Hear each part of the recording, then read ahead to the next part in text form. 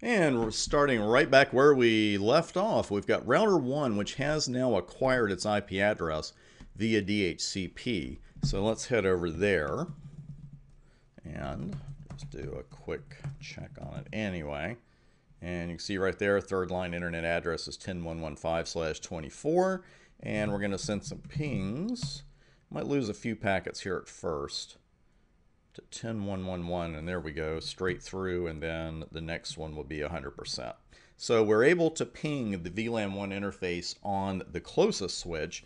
Now let's try 1011100 over here on the multi-layer switch which is also our DHCP server.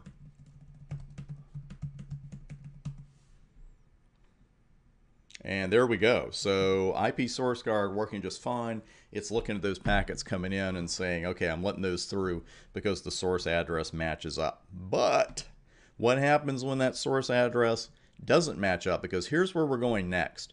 I am going to swap out router 1 for router 4. Router 4 has a hard-coded IP address, 10114/24. It is not DHCP related in any way. Then we'll send some packets from router 4 and see what's going on there. So I'll pause the video, do the swap out. We'll be right back. And the swap has been made. I'm on router 4 and just wanted to verify with you that with show CDP neighbor, you can see that it is now connected to router 1's port on that switch. Well, it was previously router 1's port on the switch. That's where source guard is. So what's going to happen when I try to send some pings to 10111?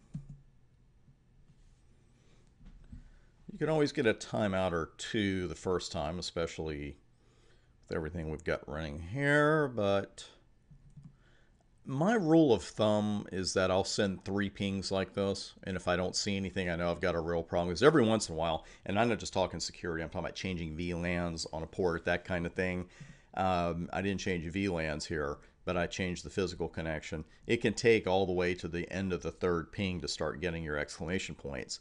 However, in this case, it doesn't look like we're getting any exclamation points at all. So 4 can't even begin to ping 10111, which is the closest switch, and of course the one IP source guard is configured on.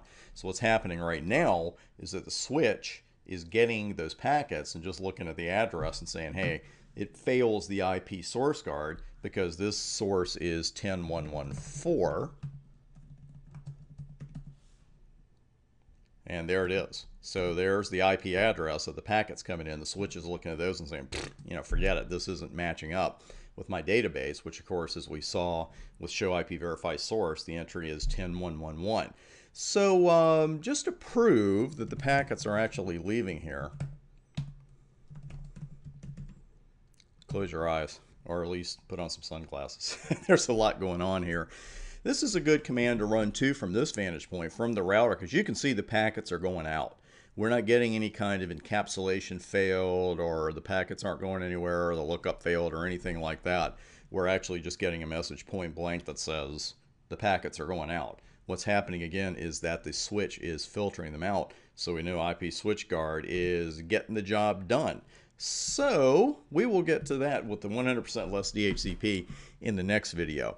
At this point, I do want to go back to the switch because I want to show you the default here again. You can see that the, uh, the interface is still up. Uh, it has not been shut down and it won't be shut down by default. If you want the port to go into error disabled mode when it receives ports like that, you've got to enable that port security option that we talked about. And I just want to speak on that for a moment because it's way beyond the scope of the exam, but I know a lot of you will go beyond that as I like to. So just a couple of uh, real world tips about port security. you can tell by the way I'm laughing, but already I can just tell you it's more of an art form than a science when it comes to using port security with IP source guard. A couple of real world tips here for you. First off, you have to use, of course, the port security option here as you would expect. You also have to enable port security on this same port. and I don't mean IP verify source port security, I mean switch port port security. You've got to enable that as well. I would also urge you to do some online reading because there are several discussions or rage fests or whatever you want to call them about um, certain DHCP options that may need to be turned off or may not to be turned off. Uh, again, not something we're going to go into for this exam, but again, it can be pretty tricky in the real world to get port security to work with IP source guard. Not always the easiest thing in the world, and we're not worried about easy. It's just sometimes you go with the theory and with the Cisco docs, and it's still not going to work because of that option. So anyway, should you go into that, please do a little online reading before you dig in and spare your sanity.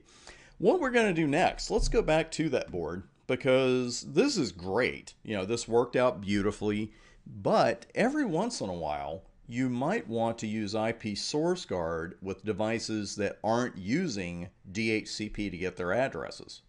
And we know usually router interfaces aren't using DHCP to get an address. They're hard coded.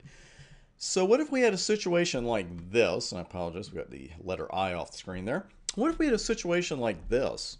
Where we have the same switch in the middle and interface VLAN 110.111/24, but we've got a couple of routers on the same segment and they're hard coded, but we still want to use IP source guard because we know IP source guard is tied into DHCP snooping. So then it sounds like, well, we're not using DHCP, but we're using DHCP snooping.